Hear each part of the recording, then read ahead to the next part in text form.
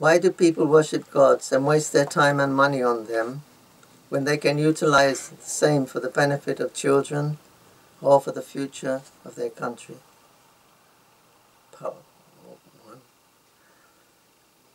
First, we have to understand what is benefit of the children. If you think that keeping a child in the cycle of birth and death is beneficial,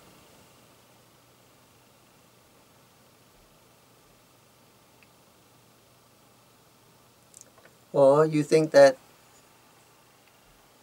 uh, training a child to go back home, back to Godhead, where he doesn't have to stay in the cycle of birth and death, is beneficial. So, as the members of the International Society for Krishna Consciousness, uh, we understand that the most beneficial thing to do is become Krishna conscious and go back home, back to Godhead.